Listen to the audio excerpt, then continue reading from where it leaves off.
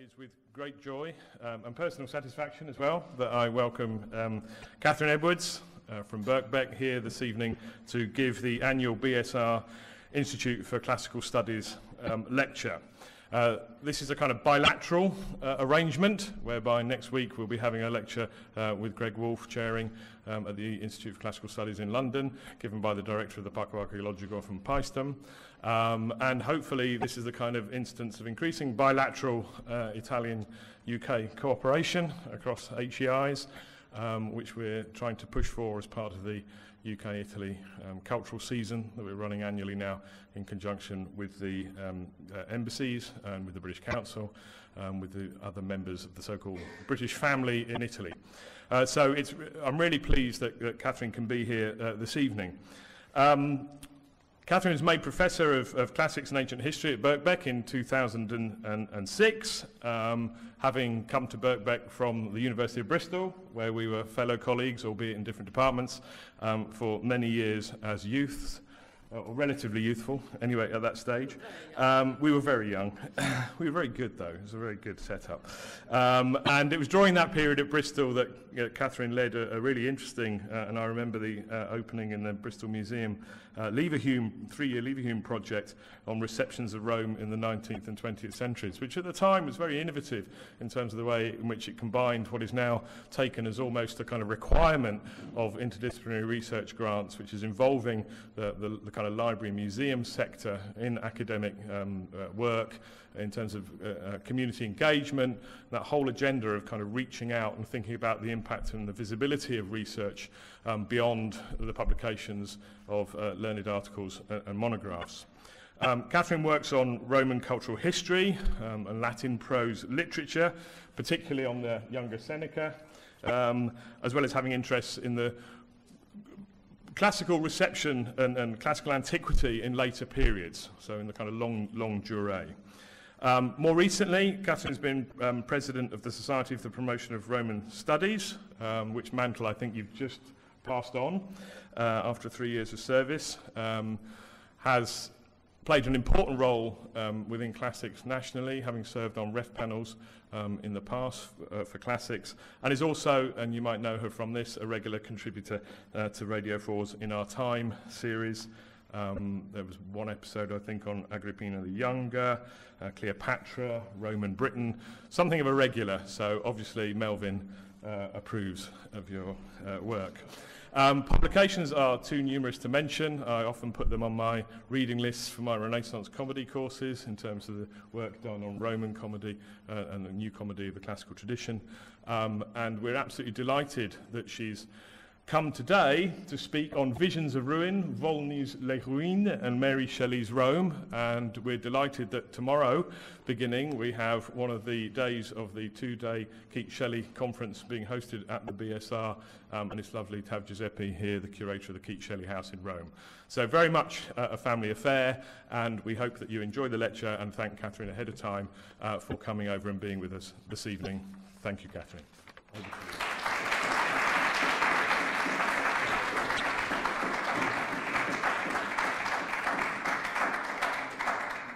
Well, thank you very much indeed, Stephen, for that very generous introduction. It's a great honour to be invited to give this um, BSR ICS uh, annual lecture here in Rome. And it's a delight to be back in the British School of Rome, um, a place I've spent much time in over many years, and uh, I know what a very special place it is.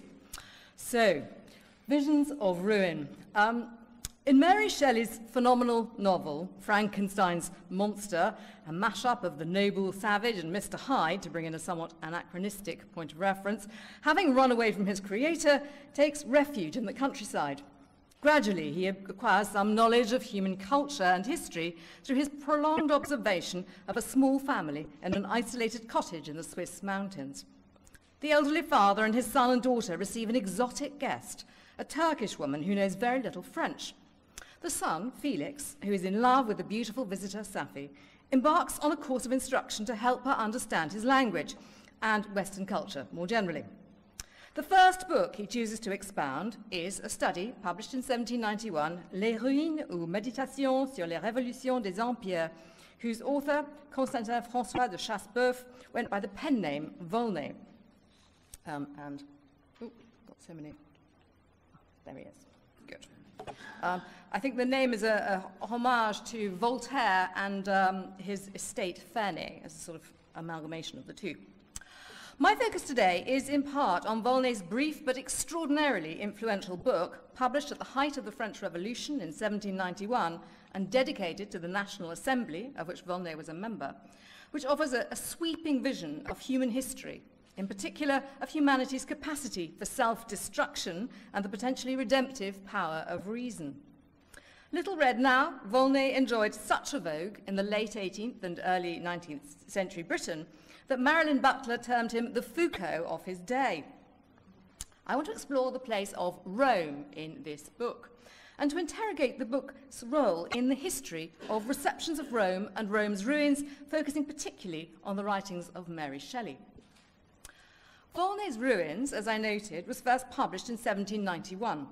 Its immediate popularity may be gauged from the fact that the French text was reprinted five times um, before 1820, um, and within a year of its first appearance, it was translated into English. Um, a translator in 1792 was James Marshall, um, who was, uh, we might note, a good friend of William Godwin, Mary Shelley's father.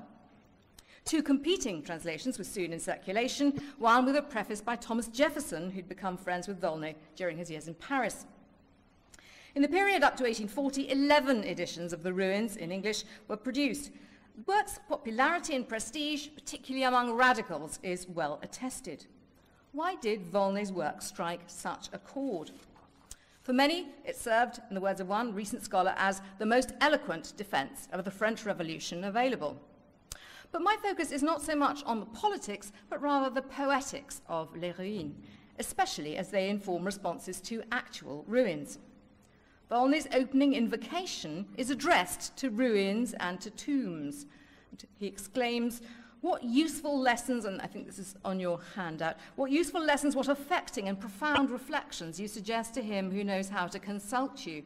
When the whole earth in chains and silence bowed the neck before its tyrants, you had already proclaimed the truths um, which they abhor, and confounding the dust of the king with that of the nearest slave, had announced to man the sacred dogma of equality. Following the invocation, Ruines takes as its more specific point of departure the ruins of Palmyra in the Syrian desert. The narrator describes his journey there in 1784, part of an extended tour of the regions of Syria and Egypt, during which he has often been given pause to reflect uh, by the sight of ruined palaces and temples. Finding himself in Homs, he resolves to make the difficult trip across the desert to see for himself the ruins of the fabled Palmyra. This is presented as a voyage through a wasteland, crossing solitary deserts, a valley of caves and sepulchres, and after three or four days he comes upon um, a scene of the most stupendous ruins. He receives hospitality from some Arabs whose huts are constructed amid the remains of the Temple of Sol and decides to stay a few days to explore the ruins. One evening, he takes a walk in the Valley of the Tombs, eventually stopping at an elevated point with views over the ruins and the surrounding desert, where he sits on a fallen column and abandons himself to reverie. As dusk falls, silence reigns. Contrasting in vivid terms the busy commerce, the grand structures which once prevailed, with the current state of desolate ruin, he reflects in his second chapter on what made this wealthy city a key centre of trade as it was and other great cities like it, collapse? How do such dreadful transformations come about? He speculates on the role of religion. Then his thoughts turn back to France, and he reflects on the parallel between the flourishing of modern Europe and of the ancient Near East. Would modern Europe too fall into ruin one day? The narrator weeps at the thought and is plunged into melancholy. Then, amid the ruins, a ghostly figure appears. The génie, or spirit of the tombs and ruins, makes clear the cause of the ruin is not a divine curse, but rather human failure, specifically the operation of the passions and of ignorance. If thy heart can comprehend the language of reason, interrogate these ruins. A melding of reason and feeling is needed for this process. The narrator puts to the génie his questions, by way of response, the génie offers the narrator the opportunity to view human affairs from an altogether new perspective, whisking him up into the ether. From this sublime viewpoint, the Earth resembles the moon as it appears from the Earth's surface. Enhancing the narrator's powers of vision, the génie points out to him many features, including the ruins of ancient Thebes in Egypt. Ces points gris sont les pyramides, these grey points are the pyramids. The sites of Tyre and of Sidon, Persepolis, Ecbatana, and Palmyra. The site of these ruins is to serve as a lesson from history. The visionary quality of this overview is less evident in the chapters which follow, although these too are words put in the mouth of the génie. Volney has the génie focus particularly on the dangers posed by organized religion, which so often prevents the exploited from revolting. Almost half the book is concerned with the origins and history of different religions, stressing their common characteristics. A vision of the French Revolution, presented as a future event, if we remember that the trip is set in 1784, serves as the book's culmination. Much of the book is then devoted to the celebration of the rule of law. Um, uh, Volney was uh, not altogether happy with the course the French Revolution subsequently took. Les Ruines includes a frontispiece, there we go, um, which is, I think, very suggestive, um, engraved by Pietro Martini. Um, uh, here we see a kind of capriccio of Palmyrene ruins, um, and looking out over them, seated beneath a palm tree on a hill amid archaeological fragments, is a figure in oriental dress, whom we might be tempted to identify as the author. The image, as Jonas Siebel underlines, almost certainly draws on the illustrations in Robert Wood and James Dawkins' celebrated 1753 volume, um, The Ruins of Palmyra. Um, one image from there and another. Now, Volney himself, it should be noted, had not, in fact, ever visited Palmyra, though he did have a first-hand report of it from the artist Louis-François Cassas, um, with whom he travelled in 1785. But Wood's volume of 1753 had given the name of Palmyra a very particular moral, political, and aesthetic resonance in the Western world. Um, uh, Gavin Hamilton's image of Dawkins and Wood discovering the ruins of Palmyra. Obviously, no one else had seen them before, apart from all the other people who lived there. But um, we, I mean, I think Hamilton's interesting. He also gives us grand tourists. Uh, we had um, Wood and Dawkins in their togas, obviously latter-day Romans, although civilian rather than military Romans. Um, and then here we have uh, their modern-day descendants in Rome itself. Um, The, the, this, this kind of romanticization of Palmyra is to be noticed, uh, I think, across a wide range of literature in this period. Um, in the French Encyclopédie, for instance, the article on ruins by Jaucourt pays particular attention to the majestic remains of Palmyra, so they become a kind of byword for ruined cities. And this resonance helps explain, I think, why it was that Volney chose Palmyra over the less well-known places he had actually visited um, as the scene from which to begin his visionary work. For Volney himself was no armchair traveller. In 1783 to 5, he'd spent an extended period travelling in the east, passing many months in Egypt and in Syria, even if he never made it all the way to Palmyra itself. And he includes um, uh, sorry, some Piranesi, which I haven't got time for, but um, this is uh, his, his account of his travels, and uh, this is an earlier publication than um, The Ruins. Um, he includes in his account of his own travels a description based on that of Wood, as he makes clear at the time, um, giving a summary of Wood's journey, kind of included within his own account. Um, and this volume appeared in 1787, um, and from it we glean quite a lot about the experiences of Volney, who is a very accomplished linguist. Um, he read Greek and Hebrew, learned some, having learned some Arabic in Paris, became fluent in the course of his travels. Whether or not he was secretly working for the French government remains unclear, but certainly Napoleon made extensive use of Volney's writings on Egypt when he undertook his neo-Roman campaign of conquest there a few years later. The opening of Volney's ruin has a certain affinity, I think, with another scene of literary conception published just a couple of years earlier in 1788 out of Edward Gibbon's Decline and Fall of the Roman Empire, whose final chapter circles back to the city of Rome itself. Gibbon recalls how the idea of writing the Decline and Fall first came to his mind as he sat among the ruins on the Capitol at dusk one autumn evening.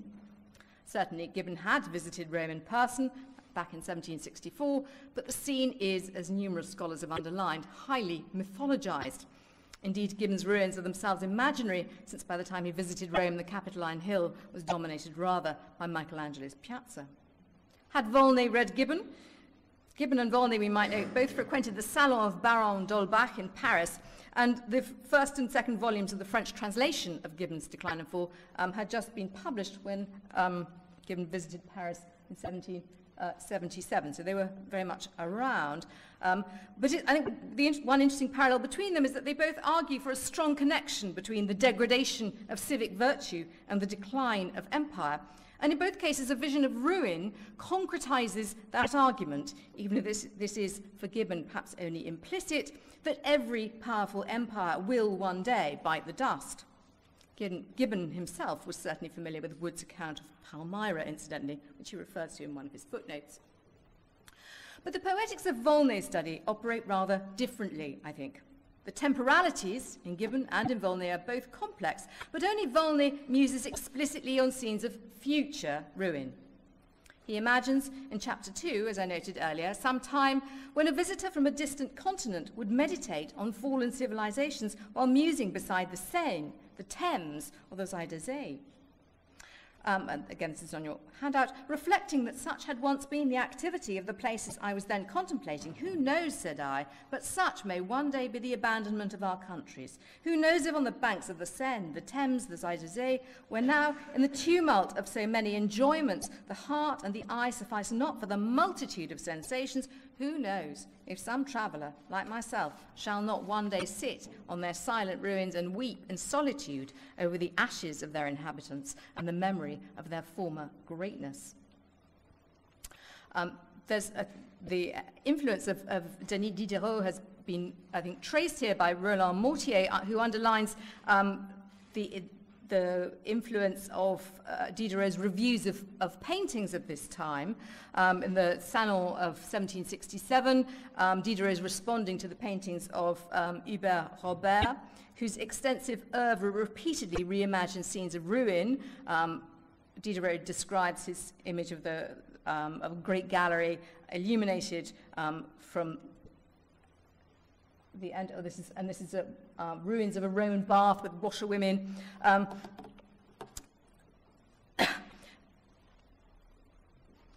Hubert Robert has a lot of, of, of these scenes of, of, ruin juxtaposed with people going about their, their daily life um, in, in, a, in, a, in a kind of um, juxtaposition of, of temporalities. But, um, and later on, he would go on to produce, for instance, this uh, image of the recently founded Louvre Museum, full of antiquities removed from Rome, but this here reduced to itself to a ruin like the ruins of Rome. This is an image from 1796, so post-dating um, Volney. Um, uh, was a, a, marked as a, explicitly as an exhilaratingly ominous scene of future ruin, perhaps something all too easily imagined amid the wrecked buildings of revolutionary Paris. Percy Bysshe Shelley's satirical preface to Peter Bell III, invoking a similar motif, uh, written in 1819, suggests that such scenes had already become something of a commonplace. There's a real vogue for this kind of uh, imaginings of future ruination. Volney had not visited Palmyra, but the prospect of future ruins in Volney's 1791 book does pick up on the final section of the earlier account of his travels, the Voyage of 1787, so two years before the French Revolution. Here he comments, these cities of Asia were once wealthy and flourishing, but who can assure us that the states of Europe will not one day experience the same reverse?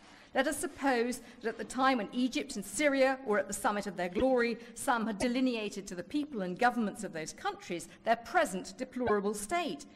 Is it not probable that those governments would have taken care to avoid those fatal mistakes which must conduct them to utter destruction?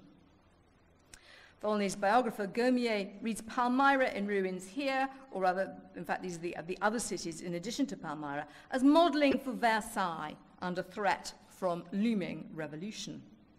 The palace's royal inhabitants would have done well, it is implied, to take a lesson from the history of the Near East. Mary Shelley's husband, Percy Bysshe Shelley, certainly read Volney and was significantly influenced by his work. Echoes of Volney's writings have been traced in Queen Mab of 1812-13, in Alastor of 1815, and in Ozymandias of 1818. Volney's first English translator was a friend of Mary Shelley's father, William Godwin, you might recall. Volney's book plays a significant role, as we saw earlier, in the education of Frankenstein's monster. Um, while Les Ruines does not actually figure in Mary Shelley's reading list, which has been assembled from the journals she kept rather intermittently, the list is by no means comprehensive, and we can, I think, assume that she knew the book really quite well. Yet Mary's characterization of the contents of Volney's Les Ruines in her novel Frankenstein is in certain respects rather surprising. Describing his experiences, Frankenstein's monster records how Volney's book, whose exposition he overhears, gave him a revealing education. This is on your handout. Through this work, I obtained a cursory knowledge of history and a view of the several empires at present existing in the world. It gave me an insight into the manners, governments, and religions of the different nations of the earth. I heard of the slothful Asiatics, of the stupendous genius and mental activity of the Grecians, of the wars and wonderful virtue of the early Romans, of their subsequent degenerating, of the decline of that mighty empire, chivalry, Christianity, and kings. I heard of the discovery of the American hemisphere and wept with Safie, who's the primary audience of this reading, over the hapless fate of its original inhabitants. Volney's visionary work affects a decisive change in the mood of Frankenstein's monster, filling a creature whose character was originally innocent and good-hearted with contradictory sentiments. Several different ancient civilizations are mentioned in his summary of the book, but I shall focus for the rest of my talk, perhaps unsurprisingly, on the Romans. Having myself been prompted to return to Volney by Frankenstein's monster, I raced through Les Ruines to see just what Volney had to say about Rome. The monster comments on his own impression of the ruins, as I just noted. I heard of the wars and wonderful virtue of the early Romans, of their subsequent degenerating, of the decline of that mighty empire. But the monster's interpretation of Volney turns out to be decidedly idiosyncratic. As I read through the ruins, I was more and more puzzled. I could find virtually no reference to ancient Rome, aside from a small handful of footnotes. In one, for instance, Volney typically observes, such a quick passage from their republican despotism to their profound civility under the emperors uh, made clear that they were not worth imitating. Rome very occasionally features as a point of comparison. It has been calculated, writes Volney, that Caesar made three million men perish it would be interesting to make the same calculation with every founder of religion. But in Volney's grand scheme, Rome receives very little explicit attention. Indeed, leaving aside the arresting and highly influential opening sections, ruins themselves, notwithstanding the work's title, play a surprisingly minor part in Volney's study. So was Mary Shelley simply mistaken in the way she had the monster characterize this book? I think we could see her as a rather more careful reader of Volney than she might at first seem.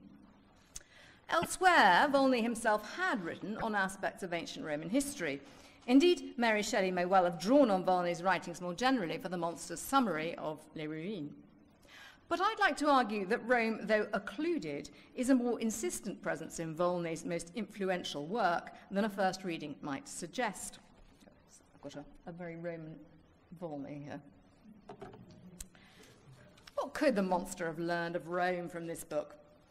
Although Mary Shelley's character Felix is described as choosing Volney's ruins as suitable for his visitor on the grounds that the declamatory style was framed in imitation of the Eastern authors, modern critics have seen little trace of Eastern influence in, Vol- in, in writing style, though it certainly resonates with the fashion for orientalizing locations, also evident as we've seen in Jaucourt's entry in the, on, on ruins in the encyclopedia. Um, as well as fiction such as um, William Beckford's Vathek, for instance. Much more conspicuous is the critique of moral decline, particularly the corrosive power of luxury and avarice associated with empire in terms which seem, to somebody who spends a lot of time reading Roman authors, strikingly familiar. Key facets of Volney's explanatory model are to be found in the writings of Roman historians like Sallust and recur in philosophical a- analyses such as those of the younger Seneca. In particular, Volney takes the view that luxury was a major cause of the decline both of Rome and of feudal states. One might argue that such rhetoric had simply become a standard feature of Enlightenment discourse, but I think there are some um, more specific parallels. Let us consider the opening scene in which the génie sweeps the narrator up into the ether from which they look down on the turbulent comings and goings of humanity. This is, of course, a venerable literary trope, but the scene bears a notable resemblance to an exceptionally well-known passage in Cicero's treatise De Republica on the Republic. This is the dream of Scipio, who's visited by his dead grandfather. The younger Scipio, in Cicero's dialogue, is made to describe his thoughts as in his dream he gazes down. Indeed, the earth itself seemed to me so small that I was scornful of our empire, which covers only a tiny point, as it were, upon its surface.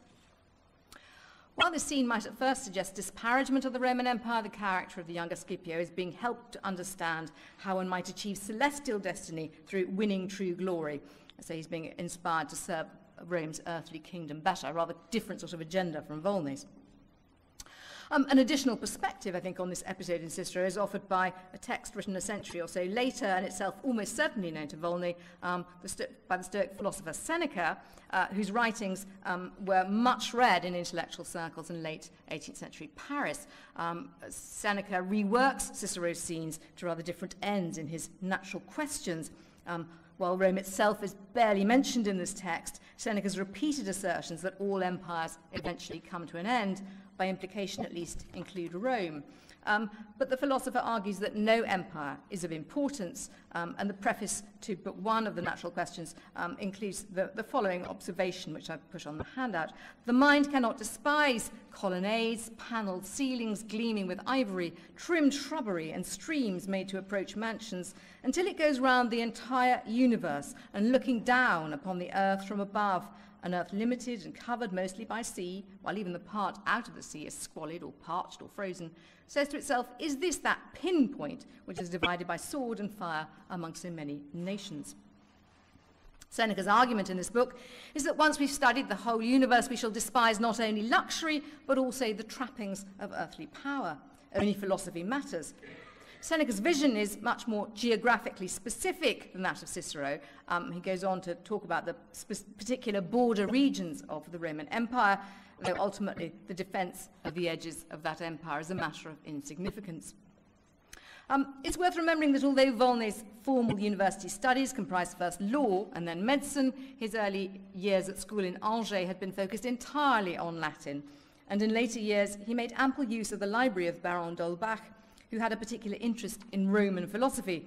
Um, Baron d'Holbach, whose championing of atheism in a strongly Stoic vein seems to have influenced Volney um, significantly, had commissioned translations into French um, of Seneca's works in the 1770s. And um, also closely associated with his circle was um, Denis Diderot, who composed two essays defending Seneca's moral philosophy and was also the author of the entry on Stoicism in the Encyclopédie. So I think it's, um, there are good grounds for seeing significant Stoic influence on, on Volney. Volney's purpose in Lyrine was significantly different from that of Cicero, and indeed that of Seneca, but we may, I think, trace a strong Stoicizing element in his conception of uh, the need to tame the passions and to foster reason. Volney blames religion for exploiting the passions of hope and fear, for focusing humanity's attention on an alternative fatherland in the hereafter, so that they are more accepting of the privations they suffer. Crucial to his case is the role of reason, but also that of nature, an absolutely central term in Stoicism. Rome, I would like to argue, is thus not so absent from Volney's ruins as might at first seem.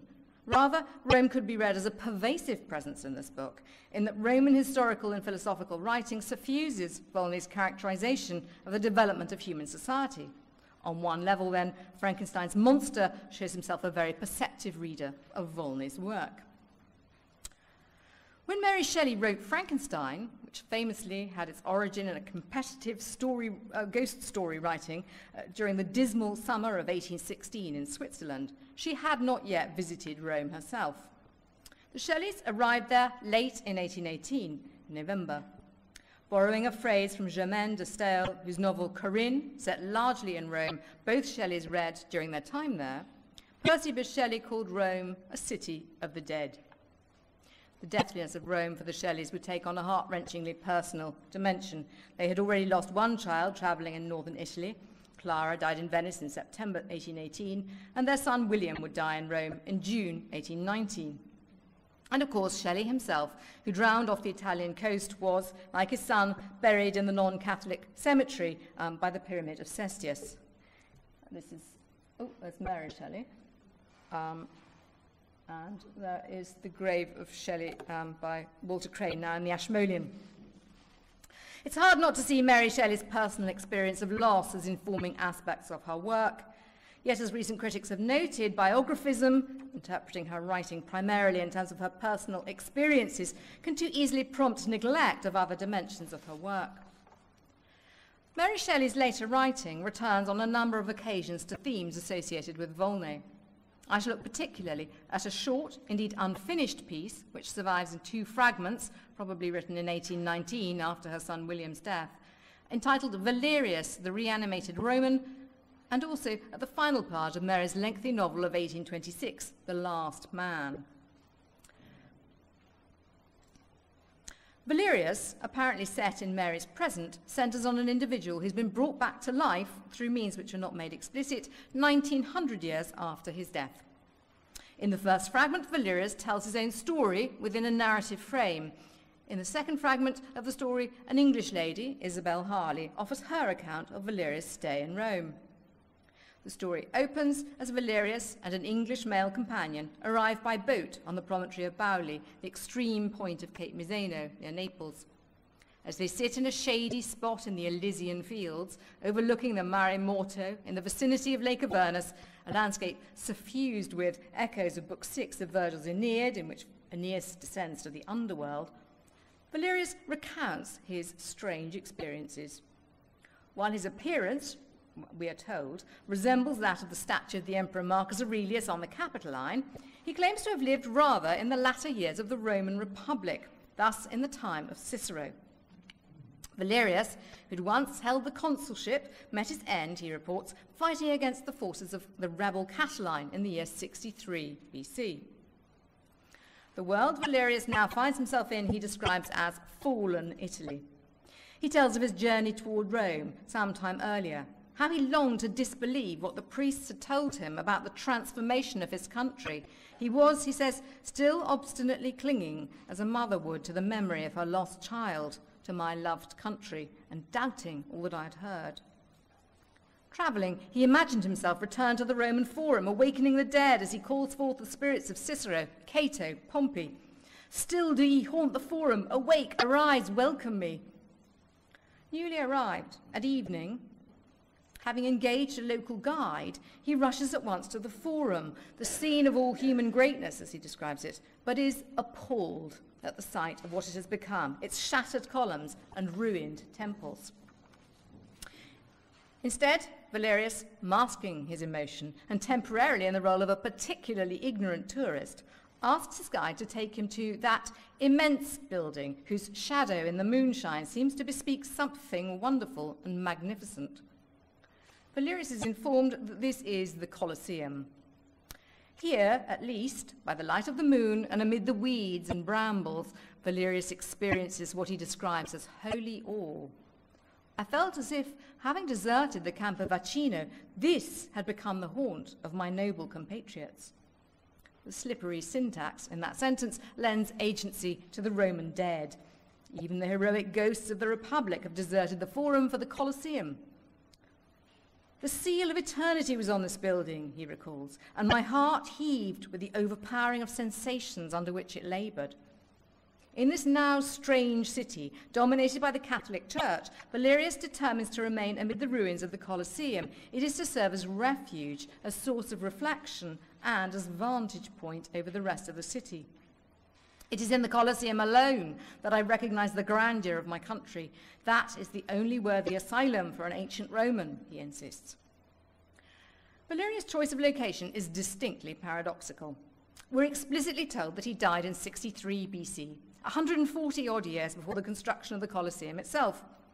The Rome whose loss Valerius laments was a republic, not the autocratic imperial state whose victory over the Jews was celebrated under Vespasian and Titus by the construction of the Colosseum. Later, indeed, Isabel Harley, the, um, his English companion, is made to remark, You were happy in dying before the fall of your country and in not witnessing its degradation under the emperors. Valerius, we might note, struggles to find the remains of any buildings associated with the era in which he himself lived. Many Northern European visitors to Rome in the late 18th and early 19th century would similarly deplore the lack of ruins from what was often regarded as the high point of Roman history, the time of Cicero, Lucretius, and Catullus, when Rome was a republic. For Valerius, the Colosseum embodies both Rome's greatness through its majestic beauty and its fall through its ruin. Yet it's also a symbol of Rome's eternity. Um, and Byron's Childe Harold is often invoked in this context. Um, stanza 145 channeled inaccurately the Venerable Bede, um, declaring, While stands the Colosseum, Rome shall stand. When falls the Colosseum, Rome shall fall. And when Rome falls, the world. Mary and Percy Shelley had recently been reading this poem written by their friend. For Mary's Valerius, all of Rome's ruins, of all of Rome's ruins, only the Colosseum can offer a kind of consolation Its characteristic solitude is, I think, a significant factor here. When Valerius first encounters the structure, it is silent, deserted. As he reflects on the greatness of ancient Rome, Valerius insists repeatedly on the total lack of direct human connection between past and present. Indeed, on the subject of modern Italians, both Percy and Mary Shelley are consistently disparaging.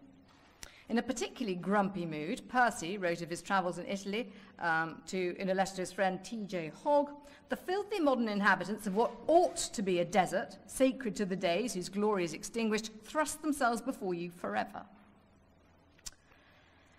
Mary's reanimated Valerius is made to comment that the wretched Italians who usurp the land once trod by heroes fill me with bitter disdain. Similar terms. They have, he claims, no real connection with the Romans of old. When the Republic died, every ancient Roman family became, by degrees, extinct. Their followers might usurp the name, but were not and are not Romans. The use of usurp in those two passages is striking, I think. Both Percy, in his unfinished work, The Colosseum, and Mary in her Valerius explore the possibility that revenant ancient Greeks and Romans may have more in common with educated English visitors than with Rome's current inhabitants. Sitting in the Colosseum, Valerius summons up memories. I remembered, as it were but yesterday, all the shows which ancient Rome had presented, he reflects. Valerius himself, of course, never saw a show in the Colosseum, and it remains unclear whether he refers to the entertainments so often provided for the people of Rome by Roman generals, for instance, to mark a triumph, or whether he refers rather to Roman public life of his own uh, Roman public life of his own time more generally, as if it were some kind of pageant. Yet the Colosseum, as a site where entertainments were provided, provides an apt setting for such imaginings. Of all the structures remaining from antiquity, the Colosseum provoked, particularly in the 19th century, perhaps the most contradictory responses. In later decades, a necromantic, moralizing reading, in some ways launched by Byron's memorable evocation in another section of Childe Harold Canto 4, came to dominate. Visitors insistently conjure forth Byron's brave barbarian gladiator, butchered to make a Roman holiday and channeling the Capitoline's dying Gaul. Um, they themselves, uh, the visitors, thus play the part of spectators. Charles Dickens, for instance, looking down at the Colosseum in 1846, thinks of the thousands of eager faces staring down into the arena on such a whirl of strife and blood and dust. He apostrophizes Never in its bloodiest prime can the sight of the gigantic Colosseum, full and running over with the lustiest life, have moved one heart, as it must move all who look upon it now. A ruin, God be thanked, a ruin. Indeed, this kind of response is deliciously satir- satirized by Mark Twain in his 1869 novel Innocents Abroad, whose narrator roundly declares himself to be the only free white man of mature age since Byron who has written about the Colosseum without quoting the lines, butchered to make a Roman holiday. For many visiting Protestants in particular, the ruin of the Colosseum constitutes the scene of triumph for humanitarian Christianity over a vividly imagined pagan barbarism. But many visitors in the early part of the 19th century focus rather on the majesty of the physical remains themselves. Such reflections flourish especially by night under the moon, when any signs of current human life are effaced by darkness and exuberant plant life asserts the potency of nature. Such responses treat the Colosseum not as a portal allowing unmediated access to the, a brutally alien world of Rome, but rather as a figure, especially in its dark, cavernous hollows, for the vast abyss separating the present from the past. Goethe, in Italy in the late 1780s, recalls in 1829 his own last night in Rome. In the solitude of the Via Sacra, the well known objects seem alien and ghost like. But when I approached the grand ruins of the Colosseum and looked through the gate into the interior, I must frankly confess that a shudder ran through me and I quickly turned home. Antiquity is at once insistently present and intangibly distant. In this sense, the Colosseum resembles the evocative surroundings of the Elysian fields where Valerius relates his story to his companion. Contradictory associations of the Colosseum make it the most appropriate of locales for the psychically dislocated revenant Valerius. Mary Shelley's The Last Man of 1826 is set rather in the distant future. Here she deploys Roman ruin to offer a rather different juxtaposition of past and present, though several aspects of this gargantuan novel echo elements in Valerius. Its lengthy and apocalyptic plot, which found only limited favour with critics and indeed the reading public, involves circuitous journeys across Europe. Britain, and it transpires other countries too, has been devastated by a great plague. The narrator, Lionel Verney, together with his shrinking band of companions, escapes England, but on arriving in Paris finds it too a desert. They press on to Switzerland and then to Italy, staying for a time near Lake Como, all these spots are equally bereft of inhabitants. When the child Evelyn, Verney's son, dies, the three survivors move on again, now to Venice. A plan is hatched to travel to Greece, but a storm brews, and two of the three, Adrian and Clara, drown in a shipwreck, leaving the narrator alone on the Italian shore, the last specimen of humanity. Of course, no coincidence that the shipwreck recalls the, the accident by which Percy Shelley met his death some years earlier. Mary herself, having lost her husband and three of her four children, seems to have identified strongly with the novel's protagonist. As she wrote in her journal, The last man, yes, I may well describe the solitary being's feeling, feeling myself as a last relic of a beloved race, my companions extinct before me. But The Last Man also draws on a wide range of literary models, from Defoe's Journey of a Plague Year and Robinson Crusoe to Germaine de Stael's Corinne. Its storyline resonates too with the apo- apocalyptic concerns of a spate of contemporary works, in part prompted, we may imagine, by the environmental impact of 1816, the year without a summer, not to mention the cholera pandemic, which first observed in Calcutta, had ravaged large areas in the east, including much of British India, and penetrated as far as Russia and Syria by 1823. But implicit here, too, I would su- suggest, is a Volneyan politics of ruin, ruin as warning, ruin as testament. Alone and desperate, Verney travels on, now by land, toward Rome, the capital of the world, as he terms it. As he reaches his destination, the majestic and eternal survivor of millions of generations of extinct men. He wanders through the city. It's a quotation. I embraced the vast columns of the temple of Jupiter Stator, which survives in the open space that was the forum, and leaning my burning cheek against its cold durability, I tried to lose the sense of present misery and present desertion by recalling to the haunted cell of my brain vivid memories of times gone by. His remembering relates at once to personal time and to historical time. Roman ruins have a unique power to recall the dead, not just the dead of antiquity, but the more recently lost also. This repopulating diorama of a vision also conjures up the city's modern inhabitants, now viewed, we might note, not with the disparagement shown by Mary's earlier character Valerius, but through the softening lens of romance. Intriguingly, these recent inhabitants include the fictional protagonist of Madame de Stael's Corinne of 1807. This passage from The Last Man echoes a comment made by Isabel Harley, in the earlier Valerius, to Valerius in the earlier story.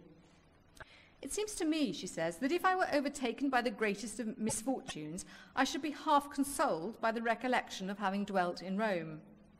Rome can perhaps offer a kind of consolation to the utterly bereft, but it's not a lasting one. Verney continues, I was long rapt by such ideas, but the soul wearies of a pauseless flight, and stooping from its wheeling circuits round and round this spot, suddenly it fell, 10,000 fathom deep, into the abyss of the present, into self-knowledge, into tenfold sadness. I roused myself, I cast off my waking dreams, and I, who just now could almost hear the shouts of the Roman throng, and was hustled by countless multitudes, now beheld the desert ruins of Rome, sleeping under its own blue sky. The shadows lay tranquilly on the ground. Sheep were grazing untended on the Palatine, and a buffalo stalked down the sacred way that led to the Capitol. I was alone in the Forum, alone in Rome, alone in the world.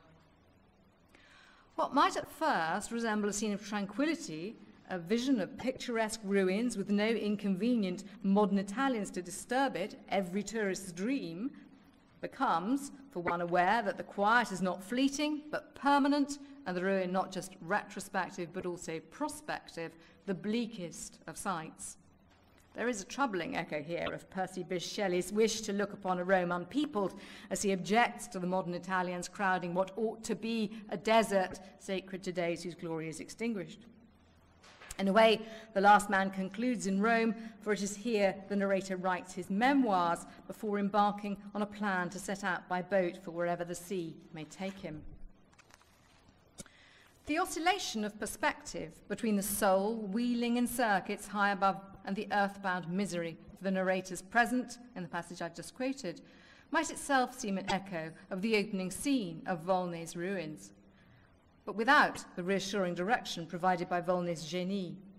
Rome in the last man, its teeming population, vividly but fleetingly imagined by the narrator, now extinct, is nothing but ruins in a desert reduced to the state of Volney's Palmyra.